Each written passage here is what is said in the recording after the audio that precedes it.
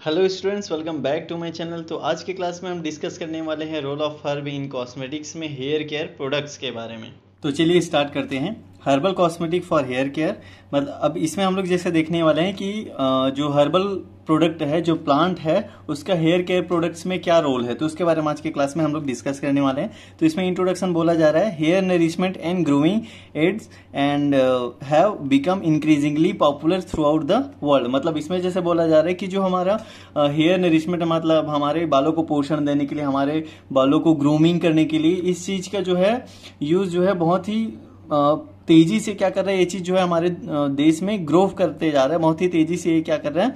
Popular होते जा रहा है। And hair care products for man अब मेंस के लिए क्या क्या हेयर केयर प्रोडक्ट्स जो आते हैं, उसके बारे में देखें तो फिर इसमें बोला जा रहा है हेयर क्रीम हेयर ब्रिलियंट्स आता है पोमेट्स आता है and solid brilliantines tonics lotion and conditioners तो ये सब चीज़ जो है हमारे हेयर केयर प्रोडक्ट्स में आ जाते हैं, जो मेंस के लिए यूज़ किया जाता है। वुमेन्स के लिए जैसे देखें हेयर केयर प्रोडक्ट में तो फिर hair spray, special resins and lotion, brilliantines and conditioners तो ये सब चीज़ जो है वोमेन्स के लिए हेयर केयर प्रोडक्ट्स के अंदर आ जाता है।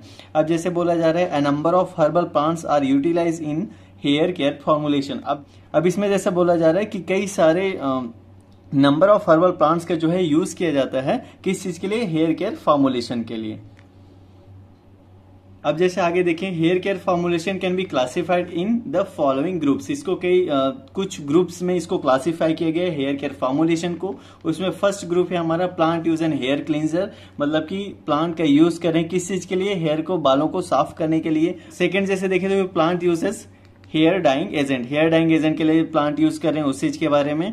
Plant uses anti dandruff agent anti dandruff के लिए जो प्लांट यूज़ कर रहे हैं उसके बारे में plant uses hair tonic and hair enrichment हमारे बालों को पोषण देने के लिए जो प्लांट सोर्स का यूज़ करते हैं, उसके बारे में। तो फ़र्स्ट है हमारा प्लांट यूजेस हेयर क्लींजर इसमें, जैसे इसमें हम लोग इसके बायोलॉजिकल नेम को हम लोग नहीं पढ़ रहे हैं, इसके जो हिंदी मीनिंग है उसको ही हम लोग इसमें देखेंगे। तो इसमें, इसको आप लोग पढ़ लीजिएगा, क्योंकि ये रटने वाला चीज़ है, इसको याद करने वाला चीज़ है। हम लोग इसके जो हिंदी मीनिंग है उसको ही बस देखेंगे, ठीक है? तो फिर इसमें जैसे बोला जा रहा है, शीकाकाई है हो गया, बिही हो गया, रीठा, मेथी तो इन सब चीज़ों का जो है यूज़ किया जाता है हेयर क्लींजिंग के रूप में। सेकेंड जो है हमारा plant uses hair dyeing agent मतलब कि हमारे बालों को कलर करने के लिए जो प्लांट प्रोडक्ट जो हर्बल प्रोडक्ट का यूज़ किया जाता है हर्बल सोर्स का यूज़ किया जाता है, उसके बारे में जैसे देखें तो फिर कीकर हो गया, बीही हो गया, भृंगराज हो गया, गुड़हल हो गया, हीना हो गया। तो ये सब चीज़ जो है हम लोग हेयर डाइंग एजेंट के रूप में यूज़ करते हैं।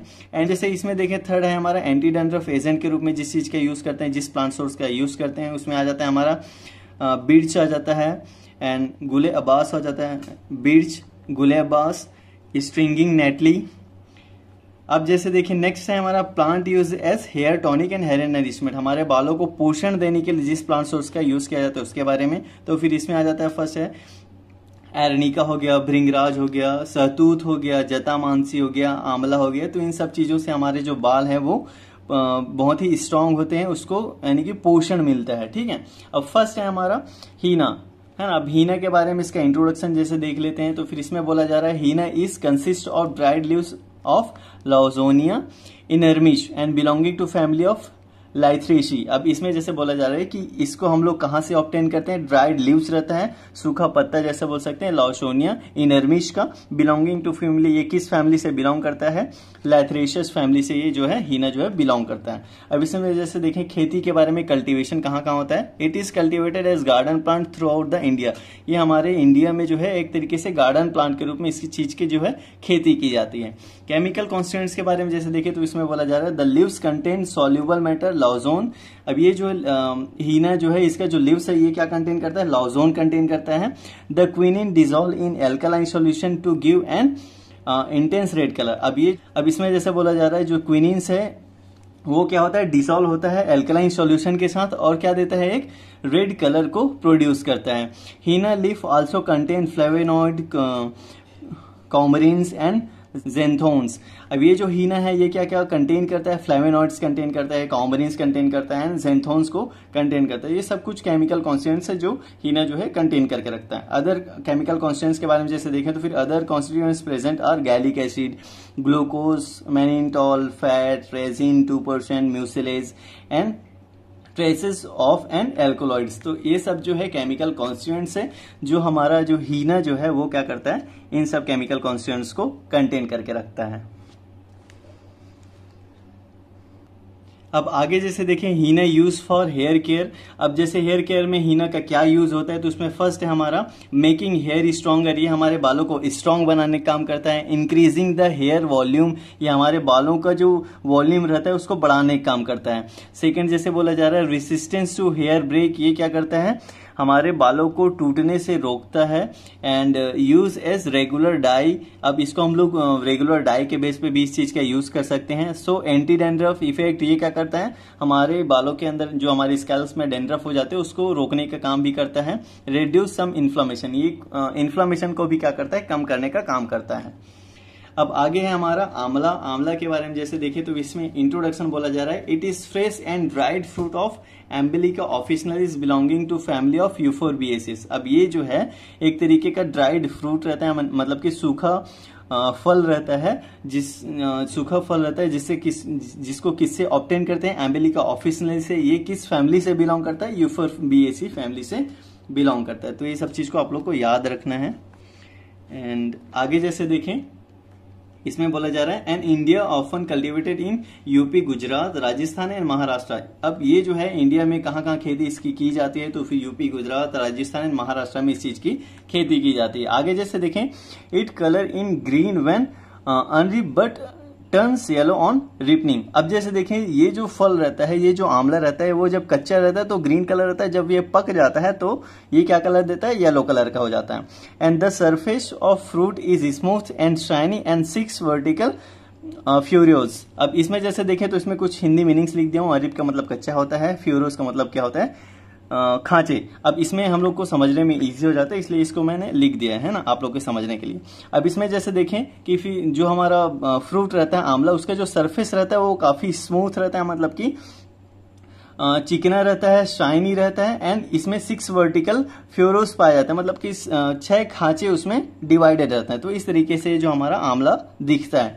दैट अब इसमें जैसे बोला जा रहा है taste is sour and astringent मतलब कि इसका जो टेस्ट रहता है, आंवला का जो टेस्ट रहता है, वो थोड़ा सा कड़वा रहता है और ये कसाला रहता है। मतलब कि कसाला का मतलब ये रहता है कि हम लोग कोई चीज़ ऐसा खाते हैं जो थोड़ा सा कड़वा भी रहे और वो गले से उतरता ना रहे। तो उसको क्या बोला जाता है? कसैला बोला जाता है। तो इस तरीके से उसका टेस्ट रहता है।